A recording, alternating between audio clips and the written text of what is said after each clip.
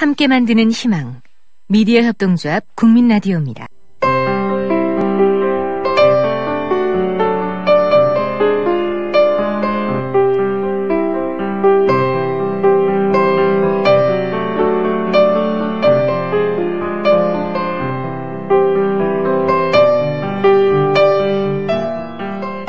고전으로 본 오늘의 이윤호입니다.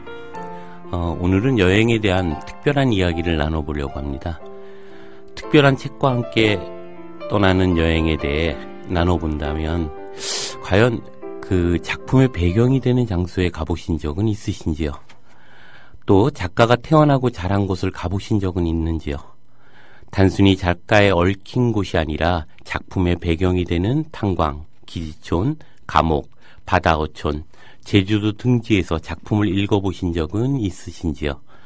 나아가 이러한 작품들을 노숙인 성맹매 경험자들과 함께 읽어보신 적은 있으신지요?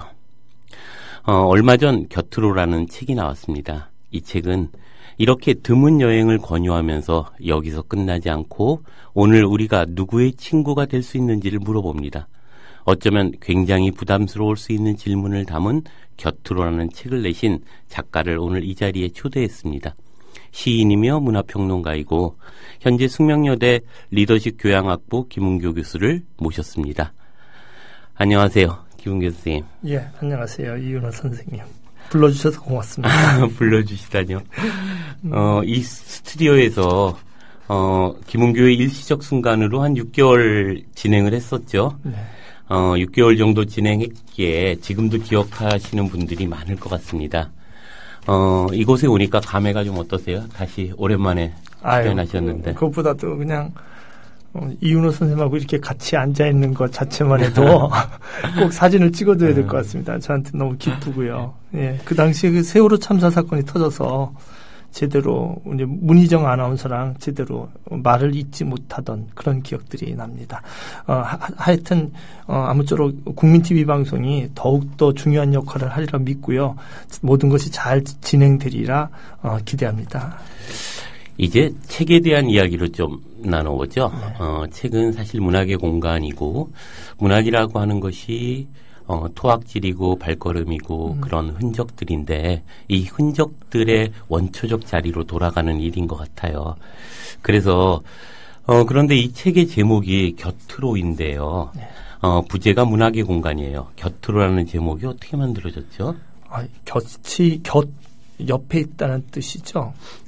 어, 껍데기에 겉이란 뜻도 있고요. 근데 어, 어떤 학술적인 동기보다는 제 체험에서 곁이 필요하구나 이런 생각들을 할 수 있는 그런 계기들이 있었습니다. 일본에 있었을 때 불법 체류자 몇 분들하고 제 방에서 같이 지낸 적이 있었는데 이런저런 이유로 저도 보호소에 갇히게 되었어요. 근데 거기에 뭐 베트남, 몽골, 브라질 이런 데서 온 분들이 계신데 음. 일본어도 할 수 없고 영어도 음. 할수 없어서 도움을 주지 못하고 음. 보호소에 있다가 이제 추방을 당하는데 그래서 이제 그때 아 이런 분들 곁이 좀 필요하겠구나 싶었는데 아, 예. 집에 들어왔는데 집에 빈 방에 꿈속에서 자꾸 이분들이 제 곁에 와 있는 거예요. 그래서 예. 제가 이번에 아. 두 번째 시집 날때 예. 거기에 이제 곁이라는 시가 들어가는데요. 어 이분들이 또 나한테 나에게 도움을 주는구나 이런 생각도 들고요. 그래서 어, 곁이 우리 삶에 굉장히 필요한 것이 아닌가 이런 생각을 아, 해봤습니다. 그렇죠. 네. 그 책에 보면 목차 앞에 곁으로라는 노래가 나와 있어요. 어, 1986년에 지었다고 나오는데, 어, 어떠세요? 어떤 의도로 그 당시에 지었는지? 아, 요즘 막연해요. 막연한데 그냥 이 책 제목하고 비슷해서 앞에다 좀 넣었지만 좀 관념적이고 어, 그렇습니다. 음. 그 우리 이야기를 듣기 전에 한번 그 노래 먼저 듣고 하죠. 지난주에 북콘서트에서 직접 부르시고 녹음하셨던 걸로 알고 있는데요. 네. 어, 노래 듣고 이야기를 나누겠습니다. 한 3분 30초 정도 되는 거고요. 김은교 노래 백코러스의 오영진 차빈나가 부릅니다. 곁으로.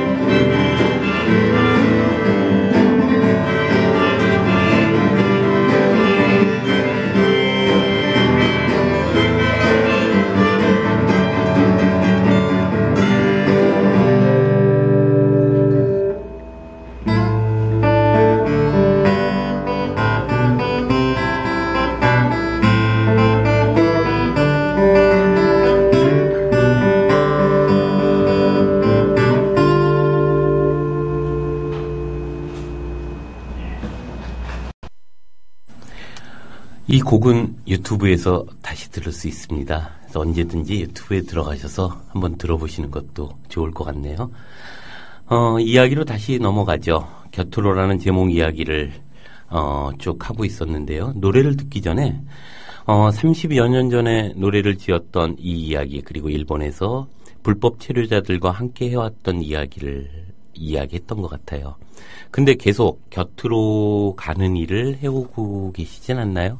이르자면 노숙인들을 위한 민들레 문학교실이나 교도소에 가서 하는 인문학 강연 등 체험이 먼저 되었던 거죠? 어, 뭐, 흉내만 낸 거죠. 흉내만 내고 겉이죠. 중심에 있는 것이 아니라 그분들 겉에서 이제 글을 쓰는 사람이니까 겉에 가서 구경을 하고 그분들의 이야기를 껍데기만 적었는데 그거로도 해야 되지 않나 이런 생각을 음. 했습니다. 어쨌거나 다양한 학술 연구를 하시고 계시는데 그 다음에 어떤 학술적인 정리가 필요하다는 생각하게 되나요? 어떠세요? 예, 그래서 다음에 낼 언제 낼지 모르겠어요. 살아 있으면 곁에 사상, 곁에 인문학 이런 책을 내고 싶어요. 그런데 일단은 제가 문학을 하니까 문학을 한번 정리해보자 그래서 이번에 르포 형식으로 한번 써본 겁니다. 예. 그럼 다음에는 사상서 비슷하게 내실 계획도 있으시고요. 아유, 이윤호 선생 앞에서 제가 이런 말 못하죠.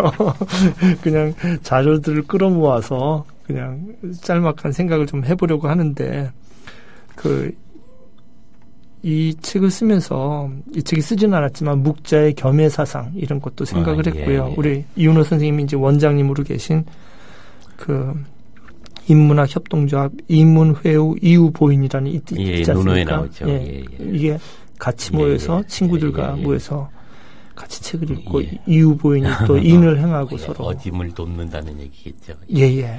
그래서 이것도 이제 곁에 사상이 아닌가 이런 음, 생각을 음. 해봤고 백석과 윤동주 시에 보면은 중심에 대한 새로운 개념이 나와요. 이 예, 사람들의 예. 중심은 돈 있고 음. 뭐 높고 이런 것이 아니라 뭐 조개 껍데기라든지 검이라든지 음, 수라라는 음, 시에서 음, 그렇죠. 윤동주 시에 보면 또 그 직접적으로 곁으로 다가가려는 마음들이 있죠. 병원이라는 시 보면은 어, 빈 침대에 내가 누워 본다라는 뜻이라든지 예. 또는 팔복이라는 시 음, 보면은 음, 음, 슬퍼하는 자는 복이 있나니 그 음, 영원히 음, 슬퍼하리로다. 음, 음, 십자가에 음, 보면 음, 행복한 예수 그리스도에게처럼 이런 그 곁에 사상들이 나오고요. 음. 예. 이거 너무 마- 말이 어, 이, 이, 어, 어, 어, 저, 이- 이런 얘기 자꾸 하면 재미 없어지는데. 어쨌거나 다양하게 이제 곁에 사상을 네. 정리하실 텐데 네. 어 어떠세요? 그 책으로 좀 들어가 보면 네. 어, 첫 장에서 루카치 이야기가 나오고 네네네. 변두리를 걷는다는 주제가 나와요. 네. 어때요? 무슨 뜻이죠? 그 변두리를 거둔 사람들이 참 많았죠. 그 정말 그, 이 부분이 많은 사람들이 좀 그 이렇게 그 인용을 해주시고 그래서 굉장히 좋은데요. 제가 사실은 이 부분을 고은 선생님한테 들었어요. 고은 선생님이 일본에 오시거나 또 제가 찾아뵈면 음. 이 얘기를 자주 해주시더라고요. 예, 모든 사상가나 진, 진리는 변두리에서 나온다. 그래서 저희의 변방에서 혁명이 시작되는. 그러게 말이야. 근데 네. 신영복 선생님 책에도 이런 얘기가 나오죠. 그렇죠. 강의에 나오면 예, 예. 변방에서 이제 네. 그래서 그 부분이 나오는데 이윤호 선생님 한번 좀 읽어주시면 어떨까 좀 싶습니다. 예. 아, 예. 제가 목소리가 그다지 좋은 편이 아니라서 근데 오늘 좀 졸릴 텐데. 여러분들 모르는데 이윤호 선생님은 좀 아프셔가지고 지금 병원 보고 아, 아니에요. 얘기하지 말라고 그러는데 지금 목발 짚고 여기 왔어요. 읽- 근데 그런 분에게. 제가 이렇게 낭송을 무- 부탁드립니다. 무당의 아들이었던 공자는 끊임없이 스승을 찾아 걸었고 스스로 스승이 된 이후에도 걷고 또 걸었다. 카필라 바스투라는 조그만 성읍 국가에서 태어난 석가도 원시 공동체의 추장처럼 구도의 여행을 했다. 로마 식민지 아래 억압받고 소외된 나사렛 청년 예수는 제자들과 함께 유랑하고 마지막에 떠나기 위해 에스- 에루살렘으로 입성했다. 부활에서는 가장 가난한 변두리 갈릴리를 향해 걸었다. 이들은 모두 변두리를 걸었다. 변두리에서 태어난 공자는 철저하게 늪을 기어 현인의 자리에 오르고 공자 아카데미의 효시가 되었다. 하층민 공자에서 군자, 공자, 루조 공자에서 업그레이드된 공자가 된 것은 철저한 학습 때문이다. 습이라는 한자 스스로 좋아서 날개짓 하듯 공부했던 사람이 공자였다. 공자 아카데미는 이렇게 이 나라 저 나라 걷는 걷기와 스스로 좋아 몰두했던 독서로 축조되었다. 나는 길이오라고 했던 길을 찾으려면 스스로 걸어야 한다. 스스로 부딪힐 때 화건을 쓴 머리가 될 수 있고 그 자세로 달팽이처럼 기어갈 때 어느 순간 뒤돌아보면 내 길을 만날 수 있다. 발로 체험하지 않고 눈물과 노동에 손을 맞잡지 않고 혀로만 설교하는 미소를 나는 신뢰하지 않는다. 현자는 여행을 여행에서 태어나고 진리는 거리에서 잉태된다. 그래서 니체는 핵심을 꿰뚫는 직설을 남겼다. 가벼운 발이 신성의 첫 속성이다. 니체 우상과 항원. 내가 낸 책 중에 만족하는 책들은 많이 걸어서 쓴 책이다. 김은교의 문학 에세이 겉으로. 예, 14에서 15쪽에 보면 나오는 이야기입니다. 아, 고맙습니다. 근데 고은 선생님 영향도 받았지만 또 이은호 선생님 얘기도 여기 들어가 있어요. 사실은 이은호 선생님이 저랑 제주도 가면은 네. 그 올레길과 조깅길의 차이점도 얘기해 주시고 그런 면들이 여기 제가 줄을 달아야 되는데 줄을 못 달고 여기 들어갔어요. 그래서 윤호 선생님이나 고은 선생님이나 여러분들의 조언을 제가 받아서 제 문체로 이렇게 녹여서 낸 것인데요. 정말 진리는 이렇게 그 석가도 그렇고 어 카필라바 스투라에서 이렇게 변두리에서 나오고 예수 보면은 그 예수님 보면은 그 곁으로란 단어가 굉장히 많이 나와요. 그렇죠. 그 성경 예, 신약을 예, 보니까 곁에 하고요. 예. 곁으로가 완전히 틀리더라고요. 음. 곁으로는 예수가 움직일 때 나와요. 음. 그리고 움직이게 할 때 뭐 예수께서 어린이 하나를 곁으로 불러서 음. 어, 마태복음 18장 2절에 나오고요. 또는 병 걸린 자를 갖다 곁으로 가서 자기가 곁으로 가요. 음. 그리고 또 열두 제자를 곁으로 부르셔서 곁으로 가게끔 하고 이게 마가복음 9장 35절인데 이런 식으로 그 현자들이 곁 진리의 변방에서 태어나서 곁으로 가는 삶을 살지 않았나 이런 생각이 좀 들었습니다.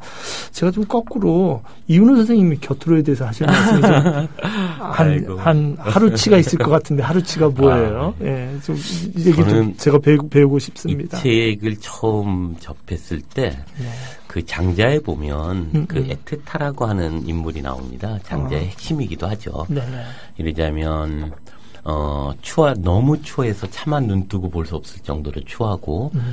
그리고 가진 것이 하나도 없고 그리고 아는 것이 하나도 없는 에테타. 네. 근데 이제 장자는 음. 그 에테타를 들어서 이야기를 하죠. 그 에테타에서 핵심적으로 나오는 요소 중에 하나는 그런 건 것 같아요. 이러자면 어 가진 게 없기 때문에 자기 온몸을 그의 곁에 함께 있었던 음. 어 그러기 때문에 충만한 어 어떤 가치를 갖게 되고 그래서 아. 이제 남 남성들은 그와 이야기하면 집에 가는 걸 잊어버리고 음. 여자들은 그와 이야기하면 부모들에게 어 다른 남자의 부인이 됐느니 에테타에 음. 첩이 되게 해달라고 졸랐다는 이야기가 나옵니다. 어, 그랬던 가장 중요한 것이 뭐냐라고 음. 봤을 때, 음. 이러자면 노자가 이야기했던 비어있음의 음. 의미들을 음. 이제 에테타를 통해서 얘기하고 있는 거죠. 자기가 가진 게 없기 때문에 늘 온몸을 음. 온 마음을 다 그의 곁에 함께 있었고 아는 게 없기 때문에 그의 모든 것을 아. 진정으로 빨아들었던 음. 그런 이야기가 나오는데 음. 그때 제가 이 책을 보면서 제일 먼저 느꼈던 것 중에 하나는 바로 이 에테타의 어떤 이야기들이 아닌가 이런 생각이 들게 됩니다. 아, 제가 좀 나중에 좀 아, 무슨 말씀을 가르쳐 주시면 고맙겠습니다. 네. 그 그럼 첫 장의 음. 제목이 겉 곁으로의 곁으로의 구심력이라고 써 있어요. 네네. 무슨 뜻이죠? 제가 이제 서경식 서경식 선생님 하고 이제 서경식 선생님이 시의 힘이라고 책을 내셔서 예. 그 전에도 한국에 오시면 연락 주시고 예. 또 제가 일본에 가면 뵙고 그래요. 그 제일 한국인 작가요. 예예. 예. 그래서 이번에 시의 힘이라는 책을 내셔서 그 콘서트를 저보고 진행하라고 그래서 선생님하고 이제 대담을 음, 했는데 음. 선생님이 시의 힘이라는 책에 동심원의 파라독스라는 용어를 쓰셨어요. 예. 그 고통의 진원지인 사람들은 음, 음, 음. 고통을 모르고 환상을 꾼다는 거예요. 음, 음, 패러독스죠. 역설이죠. 예. 그 외부에 있는 사람들은 더 모르는 경우가 있고 그래서 작가의 임무는 지, 곁을 그 동심원의 중심에 가서 그 아픔을 증언해야 되고 음, 곁에 있는 사람들은 그 아픔을 상상이라도 해라 이런 얘기인데요. 예, 예. 저는 이제 그때 선생하고 얘기하면서 전 그 곁으로의 구심력이 필요한 사회가 건전한 사회가 아닌가. 곁이 중심은 아니고 겉에 예. 불과하지만 예. 자꾸 곁으로 가려는 방향성 자체. 그렇죠. 예, 예. 그, 왜 나무를 심을 때 보면 이렇게 음. 흙을 네. 다 털어버리면 그 나무가 살지 못하잖아요. 네. 그 안에 있는 박테리아들, 음. 그 안에 있는 흙들, 음. 이것이 이제 나무의 생명을 음. 의미하듯이, 음. 어, 나무라는 것이 보이는 것으로서의 나무뿐만 아니라 그 안에 숨쉬고 있는 작은 존재들, 이 모든 것들이 이제 어떤 나무의 생명을 이루듯이, 음. 그게 이제 그것을 우리가 이해하는 것, 이런 것들이 아닐까 하는 생각도 드네요. 근데 이제 또 오해하는 게 곁으로가 구경만 하는 것이 아니라 사실은 곁으로 가려는 사람들이 어 실제적인 그 어, 쇼에 불과한 행동이 아니라 곁으로의 지향성을 가지면서 구조 변화를 했던 거죠. 어, 공자나 명자나 장자 자체도 사- 사상의 패러다임이라든지 그렇죠. 예. 뒤집어 엎으려고 했던 거 아닙니까? 예, 예. 그 예수 자체도 그 인식 자체 구조 자체를 뒤집어 엎으려고 했고요. 그래서 저는 그 어떤 그 김수영처럼 자기의 고독과 그 그것을 혁명과 연결시는 혁명은 왜 고독해야 하는가? 혁명은 왜 고독해야만 하는가? 그렇죠. 이런 그 어, 곁으로 가는 행동이 그냥 어, 눈으로 보이는 쇼나 구제가 아니라 뭐 그것이 아니라 그건 국어를 양상시키자 습관화시키는 그렇죠. 국어를 예. 그것이 아니라 구조를 변화시키는 그런 방향성을 예. 갖고 있는 곁으로가 돼야 된다 이런 생각을 했습니다. 그렇죠. 그러니까 예컨대 나와 너의 그 나오는 그 부버의 이야기가 어찌 보면은 그 나 그리고 너가 아니라 나너 사이라고 하는 관계잖아요. 그런 점에서 보면 아마 그런 게 아닐까 이런 생각이 드네요. 이, 여기는 제가 낭송을 할까요? 예, 예. 네. 책의 49에서 50면입니다. 제가 이 부분 한번 제가 낭송해 보겠습니다. 그 문장 하나하나가 이렇게 숨을 탁탁 한 번씩 다시 쉬게 하네요. 어, 중간에 쉬는 겸해서 연주곡 하나 듣죠. 연주곡은 이책 13면에 실려 있는 어, 루카치의 구절을 읽고 북콘서트에서 연주됐던 것이죠. 제가 한번 읽어보겠습니다. 별이 빛나는 창공을 보고 갈 수가 있고 또 가야만 하는 길의 지도를 읽을 수 있던 시대는 얼마나 행복했던가. 그리고 별빛이 그 길을 훤히 밝혀주던 시대는 얼마나 행복했던가. 이런 시대에서 모든 것은 새로우면서도 친숙하며 또 모험으로 가득 차 있으면서도 결국은 자신의 소유로 되는 것이다. 게오르카치 소설의 이론. 어, 이 곡을 연주하실 기타리스트 김수로원 선생이 11월 26일 날 목요일 저녁 7시에 광화문 광장에서 김은교 선생과 세월호 가족을 위한 콘서트를 한다고 들었습니다. 그죠? 예. 어.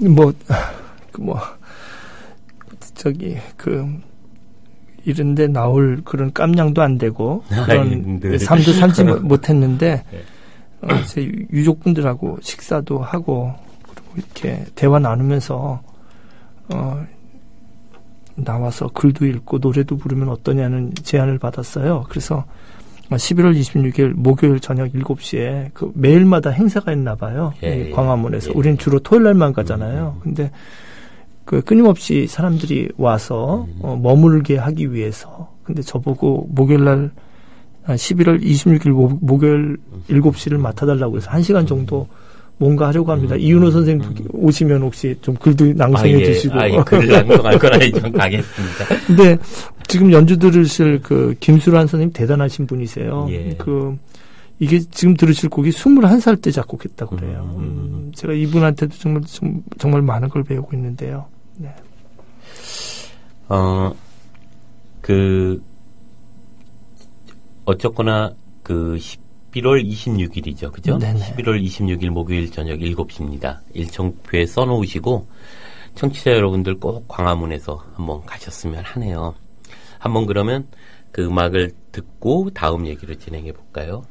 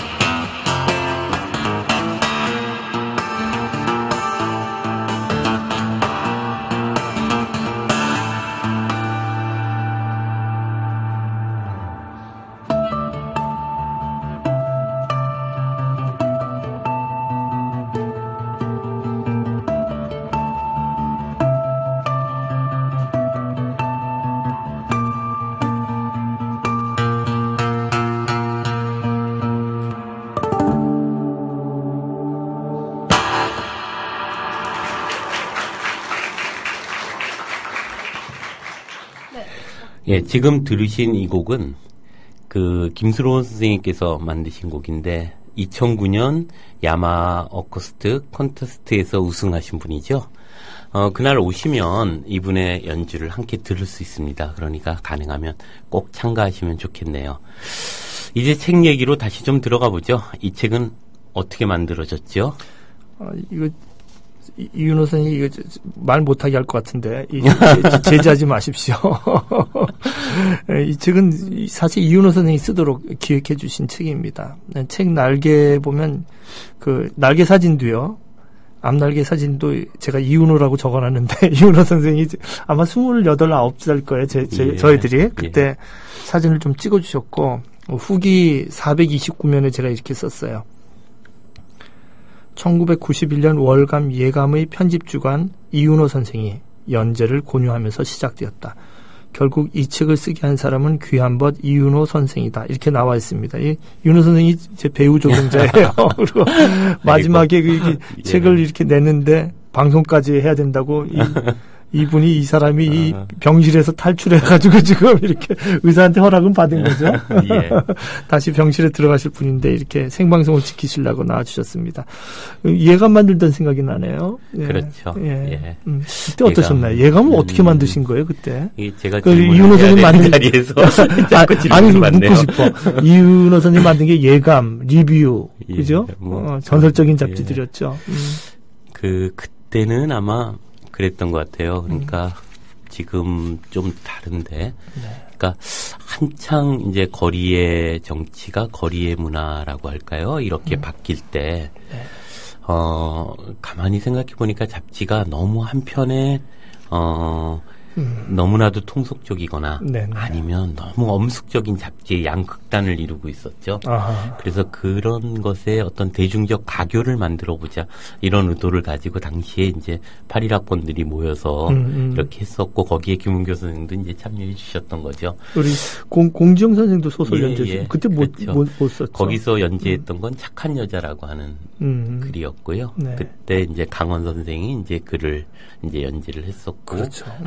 선생도 이러저러한 비평적 에세이를 네네. 가지고 연재를 했었죠. 나름 당시로 보면 대단히 의미 있었던 지금 돌이켜봐도 아 정말 좋은 잡지였다 아유, 이런 예. 생각을 합니다. 저 같은 사람을 키워주셨어요. 아, 예. 그건 아니고 예.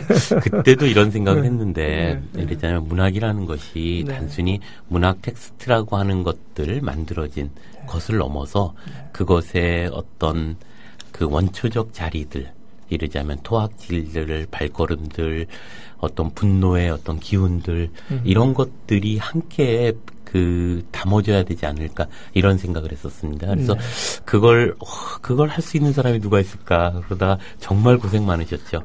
그때 그래서 이제 김은교 선생한테 막 우리가 그 억지로 맡겼던 아유, 무슨 것이었고. 아유 예. 너무 너무 고맙고 예. 그때 너무 죄송했던 일들이죠. 네네. 예. 근데 이게 이렇게 책으로 나왔네요. 그죠? 아유, 고맙습니다. 제일 먼저 쓰- 저보고 가라는 데가 압구정동이었어요. 예, 그죠? 예. 그 다음에 이제 기지촌을 다니라고 그래서 예. 압구정동은 재밌었어요. 그 같이 다녔던 사진 기자가 기억하시죠? 우리 예, 상빈이라고 예, 이상빈. 기자. 구로 운동할 때. 캐비넷 속에서 그다 그 사진으로 담았던 예. 전설적인 우리 사진사 이상빈 기자가 같이 저랑 동행을 했는데 아, 압구정동에서 찍을 때는 그 좀 예쁜 아가씨들 찍으면 막 문제가 나고 막 화내고 그런 적이 있는데 기지촌문학에서 찍을 때 좀 카메라가 좀 위험하고 그랬어요. 그쵸, 미국. 어 미국 네, 무대 네. 이렇게 버스 안에서 지나가면서 차차차차차 자꾸 찍는데 예, 예. 그때도 그렇고 재밌었던 일은 이 책에도 나오는데 이 책에 그 미군 찝차 사진이 나오거든요. 예, 예. 근데 그때는 아주 신형 병기였어요, 음, 그게. 음, 음. 이상빈 기자는 제가 취재하면서 그 차를 계속 찍었어요. 꼭 잡지에 음, 싣고 음, 싶어가지고.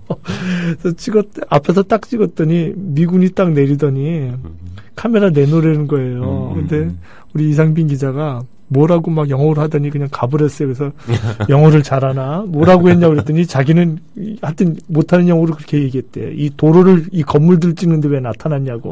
너희들이. 왜 집차가 나타났냐고. 난 이 거리를 한참 찍고 있는데. 그렇게 해서, 어, 필름을 안, 펴, 안 어, 뺏겠다는 어. 얘기도 있고요. 네. 그리고 또 저, 탄광촌을 갔다 그때는 그렇죠. 저, 혼- 저 혼자 정말 갔어요. 고생했죠. 아니 고생은 네. 아니고 일주일 있었는데 네. 거긴 정말 취직을 한번 해보고 싶었어요. 그 글을 예. 제가 너무 그 이렇게 중산층으로 살아가지고 이런 걸 너무 몰라가지고 음, 그냥 간 김에 음. 그냥 그 아주 그 의도적이지도 않고 그런데 취직이 안 되더라고요. 공탄도 가고 산탄도 가고 거기 삼척탄자 뭐 이런 데가 있었는데 안 되더라고요. 뭐 그래서 조그만 가게도 가고 여, 여러 군데를 다니면서 그렇죠. 취직을 요청하고 음. 그러다가 이제 한 이- 일주일 좀 넘게 있었어요. 그러면서 음. 그때 취재했던 기억도 그러면서 진폐증 걸린 분들을 개별, 개별적으로 만나면서 네. 참 아픔을 많이 느꼈습니다. 그때가 제일 힘들지 않았나 싶네요. 네. 그 일주일씩 네. 그 외지에서 그것도 탄광촌에서 살면서 진행했었던 일들이라서 저희가 지금도 만나면 그때 이야기를 합니다. 네. 그때 제일 미안했었고 정말 제일 고마웠었던 아 무슨. 말씀을요. 그래서 그, 그때 제 탄광촌에서 그 노조 활동하던 분들 많이 저를 데리다 데리고 음, 다니면서 진폐증이 뭐고 설명을 해주시고 그다음에 제가 그 그냥 대- 대학원생 아니었습니까 그때 그렇죠. 뭘 알겠어요. 예. 스물여덟 아홉 서른 막 예, 이렇게 예, 예. 됐을 때였는데 그래서 그 제 잘 모르는 제 제그 뭐라 그럴까 그걸 깨주시고 그랬던 음. 기억이 납니다. 그래요. 그게 문학이죠. 문학이라는 것이 그런 것들의 어떤 기저에서 움직이는 어떤 삶의 목소리들이 담겨 있는 거죠. 그것을 이제 생생하게 취재했던 네, 그 일들인 것 같아요. 그럼 저는 이제 조지 오웰을 이번에 넣으려고 했는데 못 넣었어요. 예. 못, 못 음, 넣은 글이 몇 음, 개가 음, 있는데 음. 도스텝스키 그 감옥 얘기를 쓰려 음, 음, 넣을 때도 음, 못 넣었고 음. 그 다음에 병원 얘기를 넣고 싶었어요. 음. 병원에서 시- 지금 선생님 병원에 음. 계시지만 뭐 하여튼 제가 버- 문학과 지상사에 나왔던 그 다니까 슌따로 시에 보면 병원 시가 많아요. 그래서 그 시도 넣고 싶고 윤동주 음, 병원 음, 음, 시도 넣고 음. 싶었어요. 그래서 병원에서 곁으로 가는 이야기 무엇보다도 그 조지 오웰이 정말 곁으로 가려고 했었잖아요. 음. 식민지 곁으로 그렇죠. 가고 예, 예. 또 노숙인 곁으로 음, 가고 음. 그 이튼 스쿨이라고 그렇게 좋은 학교를 나왔는데 쉬운 영어로 음, 이야기를 음, 음, 곁으로 음, 가는 이- 음. 이야기를 쓰려고 동물농장 영어가 얼마나 쉬워요. 그렇죠. 그래서 그런 이야기를 조지 오웰 얘기를 쓰려고 그랬는데 못 음, 써서 음, 다음 책을 음, 꼭 곁에 입문하기든 한권 예, 준비해 보고 그러네요. 싶습니다. 그 어, 예감에 연재됐던 글 외에도 다른 글들이 이제 추가됐죠. 그죠? 네. 어, 윤동주 연구, 김수영 글, 신동엽, 그리고 노승희 문학 이야기, 성체험 이야기, 또 세월호에 관련한 이야기 등등이 추가됐는데, 네. 어, 어때요? 그것의 어떤 내용들에 대한 이야기도 조금 보태주시죠. 아유, 다 그냥 구경만 한 것인데요. 하여튼 그것이라도 계속 해야 될 것 같습니다. 이거 작가의 한계가 또 어, 중앙에는 가지 못하고 구경꾼만 밖에 없지만 음. 서경치 선생님이 그러더라고요, 저한테.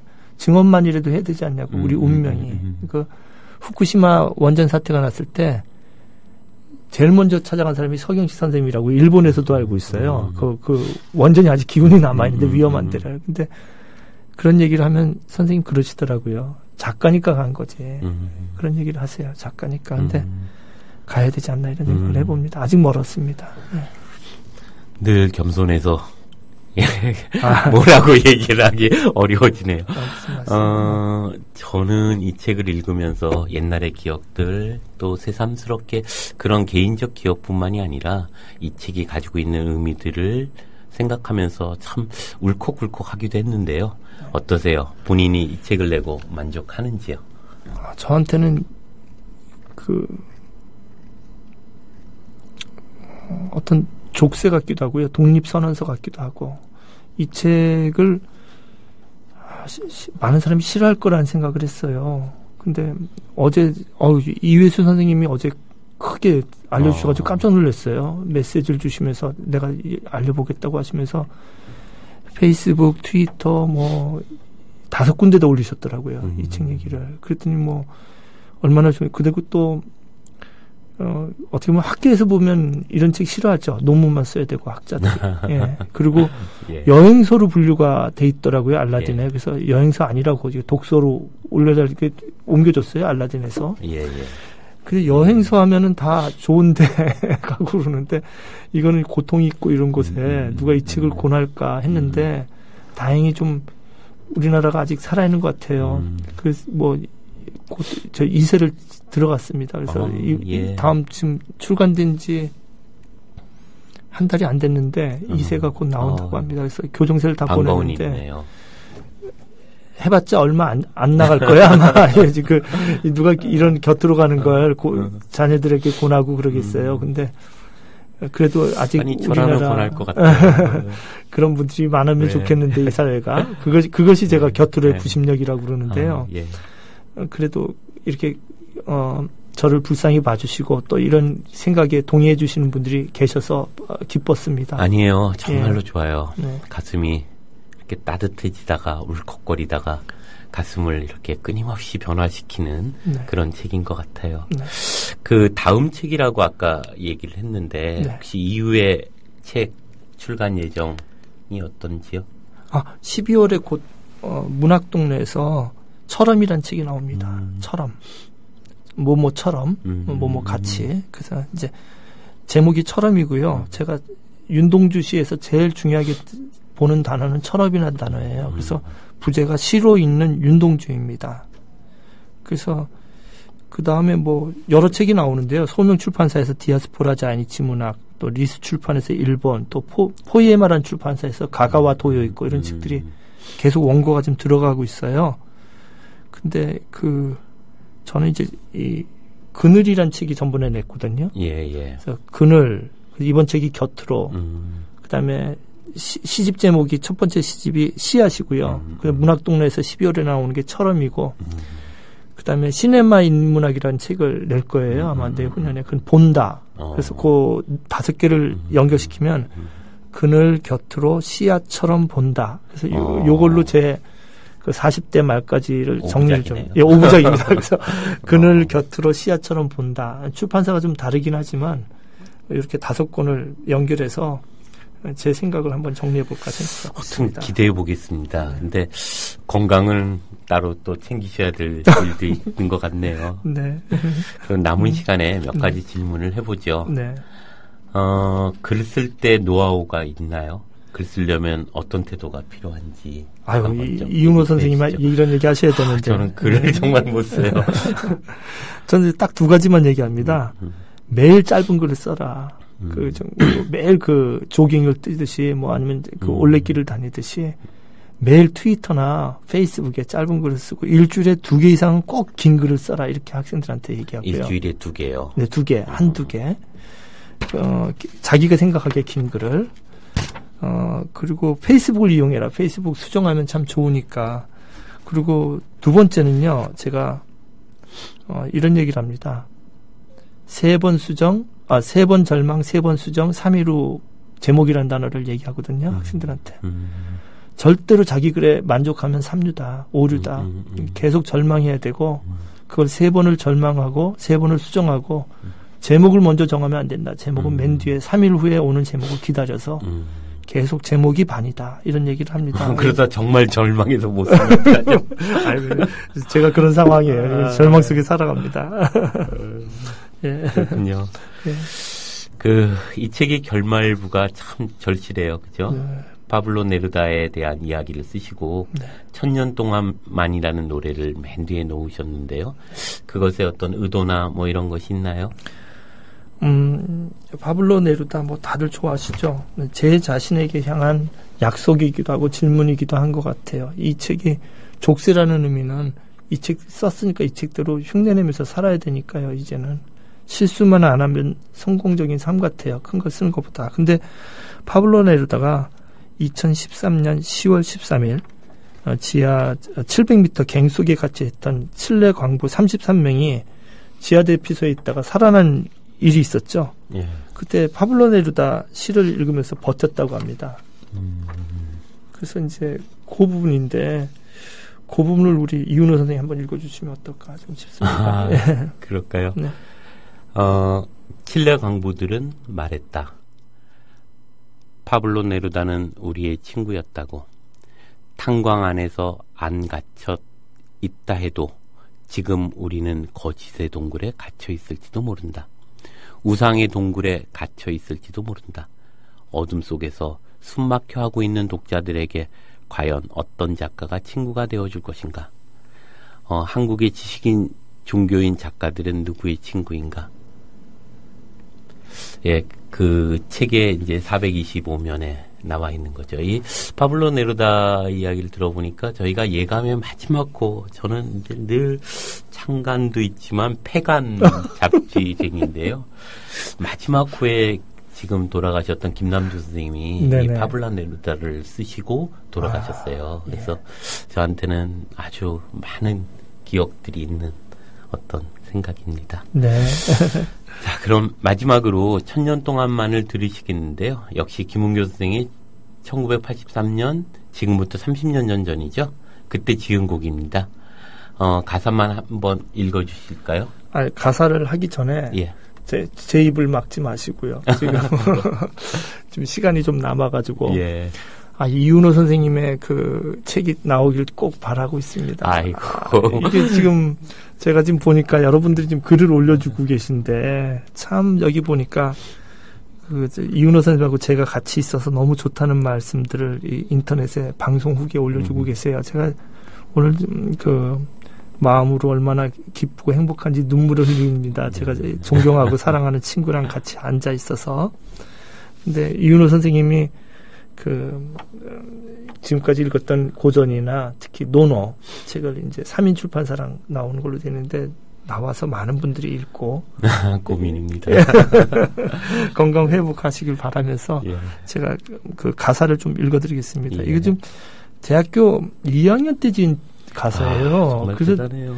근데 너무 어, 좀 음, 관념적이고 음, 음. 너무 쓸데없는데 지금 이렇게 가사를 이렇게 촌스럽게 못 지을 거야 아마. 음. 근데 이런 촌스러움이 그냥 서툰 마음이 오히려 낫잖아 이런 생각 들었습니다. 1절은 갈 길을 헤매일 때 빛을 비추어 주는 어둠에 웃는 고마운 작은 별 사랑할 거야. 2절은 서로가 지쳤을 때 부추켜 일으키는 아픔만 가린 친구들 미소에 일어설 거야.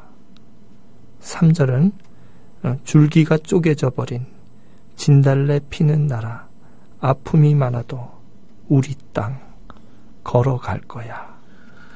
예, 이게 사실 저는 어 우리가 30대 초반이었죠. 아니 20대 말에 제가 김은교 선생님 집에 툭 하면 이제 술만 마시면 거기 가서 막 엉기고 뭐 주정도 부리고 이랬던 기억이 있어요. 음. 그때 제가 하루는 되게 이렇게 우울했던지 뭘 어떤 뭐에 화가 났는지 막 할 때 저를 재워놓고 드링크를 주면서 저한테 불려줬던 노래이기도 합니다. 아, 마 본인은 기억 못할 텐데요. 네. 저한테는 그게 너무 기억이 나요. 뭔가 아슬한 어떤 느낌 같은 거죠. 어, 그랬던 기억들이 저한테는 대단히 어, 그게 이제 악보로 실려서 다시 노래가 나왔다는 것도 정말로 너무 고마운 일이고요. 무엇보다 저한테는 이 책은 정말 각별한 책입니다. 어, 그때 만들 때도 그랬지만, 우리가 호흡을 한다는 것이 아마 이런 것 아닐까. 우리가 보지 못하는 새로운 비밀들, 느끼지 못하는 새로운 비밀들을 하나하나 찾아내고 그 변두리에서부터 새로운 혁명을 시작하려고 하는 문학의 자리가 바로 이런 게 아닐까 이런 생각도 좀 들고요. 저는 개인적으로 이 책을 읽으면서 참 많은 생각들을 하게 됐습니다. 어, 그때 얼마나 험난한 취재의 과정이었나. 또 그때는 사실 그 겁없을 나이죠. 20대 말, 30대 초반. 이럴 나이에 우리가 뛰어다녔던 하나하나의 흔적들이 이제 또 다시 묶여서 이렇게 책으로 나왔다는 것 자체가 저한테는 아 우리가 문학의 자리가 여전히 유효하게 우리에게 이 시대를 고민하고 함께 할 수 있는 어떤 자리는 아닐까 이런 생각이 듭니다. 어, 바쁘신 와중에서도 오늘 이렇게 와주신 김은교 선생님 고맙습니다. 어, 이제 마지막으로 곡 하나를 이제 마지막 남겨놓았습니다. 천년 동안만 저한테는 아주 각별한 곡이기도 하고요. 이 가사를 잘 음미해 보시면 우리가 정말 천년 동안만 어, 어떤 사랑할 일들 그리고 천년 동안 어, 해야 될 일들을 좀 생각해 보는 것도 좋을 것 같다는 생각이 듭니다. 하나만 더 얘기해도 될까요? 예. 제가 그 예전에 명동성당에서 그 사람들 데모하고 나면 명동성당에 앉아서 밤새고 그랬잖아요. 네. 제가 앉아 있는데 그 어떤 사람이 말더듬이가 이렇게 옆에 와가지고 그 저한테 촛불을 키래요. 예. 커피를 주면서 그러니까 음, 말을 잘 음, 못해요. 음, 음. 근데 옷에 양초가 잔뜩 있더라고요. 음. 이 양초를 주면서 저, 선, 선, 선- 선생님 제가 양평에서 노, 노, 노가다를 하는데 이 양초를 좀 켜주세요. 그래요. 음. 제가 양초를 안 켜고 앉아 있었거든요. 아, 양초를 켰더니 지식인 같은 말을 하고 사라져 버렸어요. 이 사람이. 뭐 프랑스 혁명은 100년 걸렸대요. 음. 그래서 어 이거 뭐야? 그러고 이렇게 음, 음. 했더니 여차저차하다 졸다가 보니까 어, 그 사람이 어, 없어졌어요. 어. 근데 어, 이렇게 무식할 것 같은 사람이 어마어마한 얘기를 음. 했네. 그래서 그분이 혹시 들으, 들으, 이 곡을 들어주시면 제가 마음이 편하겠습니다. 그, 그분 생각하면서 예. 100년 동안 양초를 키고 100년 음. 동안 곁으로 가면 좋겠습니다. 그렇죠. 우리가 한 천년은 생각하면서 살아야죠. 그죠? 예. 천년 동안 우리가 미래를 생각하면서 진행돼야 될 문제일 것 같고요. 어, 천년 정도는 생각하면서 우리가 어떤 계획들을 해야 될 것 같아요. 저는 4대강 사업도 만일 천년을 생각하고 했다면. 나는 정말 의미 있었을 것 같아요. 음. 이것을 지금 자신의 임기 4년 동안, 5년 동안 무엇인가를 이루어 보려고 하는 것이 갖는 문제점들이 여러 가지로 나타난 것 같습니다. 그런 점에서 보면 우리가 천년을 생각하면서 사랑하는 일, 천년을 생각하면서 교육하는 일, 천년을 생각하면서 아이들의 어떤 미래를 생각하는 일, 이것이 우리 문학이 해야 될 가장 중요한 자리들은 아닐까 이런 생각도 들고요. 저는 문학에 대해서 대단히 문외한이긴 하지만 정말 이렇게 의미 있는 독자로서 자리를 서 있고 싶어요. 그런 점에서 그 문학이 가야 될 것은 아마 천년을 생각하면서 작품을 하고 천년을 생각하면서 실천을 하는 일이 아닐까 생각이 드네요. 자, 그러면 이제 어 마지막 곡 하나를 들으면서 이, 이제 이야기를 좀 마쳐볼까 합니다. 오늘 예. 와주셔서 고맙습니다. 아, 불러주셔서 감사합니다. 예. 고맙습니다.